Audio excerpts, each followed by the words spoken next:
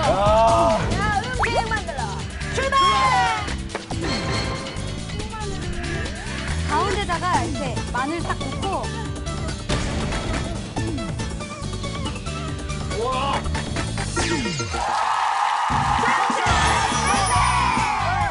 여러분 더우시죠? 여름에는 시원한 휴가를 꿈꾸는 여러분들을 위해 청춘불패에서 청춘빈박을 오픈합니다. 주식수